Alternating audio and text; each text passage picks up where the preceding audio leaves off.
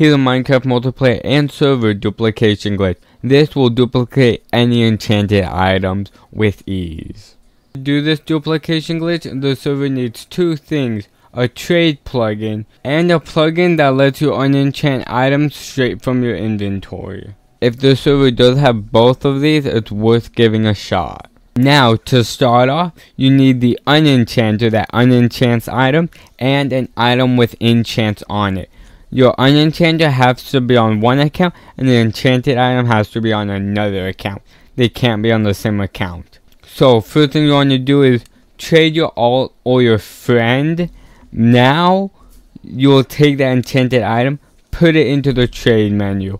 Once this is done, now you take the unenchanted item and you click on the enchanted item. It won't actually remove it because it's in the trade menu instead of your inventory but you will get it on the book. What makes this bigger and better that you can stack enchants onto each other. So if you have a sharpness 1 book on an enchanted item, you can turn that into a sharpness 2 and a sharpness 3 and so on.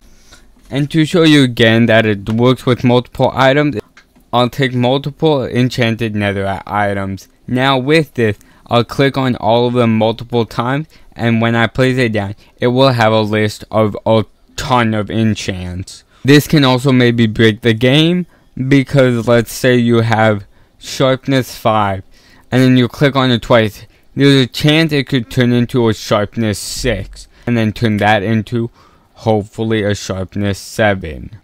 If you did learn a little bit more about duping, like and subscribe, and comment what kind of dupe you would like to see next.